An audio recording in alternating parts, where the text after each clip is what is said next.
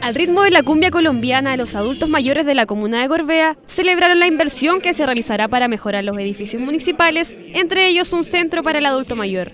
Son 4.500 millones de pesos los que prometen cambiar el rostro de Gorbea, que actualmente cuenta con edificios municipales antiguos en malas condiciones y segregados en distintos puntos de la comuna. Los, funcionarios la verdad que están, no están en condiciones muy óptimas, ¿no?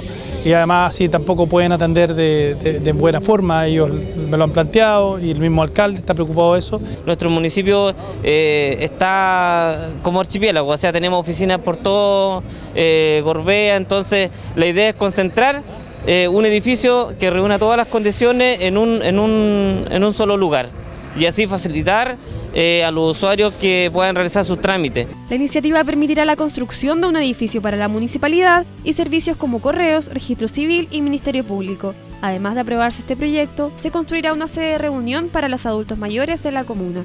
Si Dios quiere ahora, ya vamos a tener eh, nuestra sede porque tenemos muchos clubes de adultos mayores.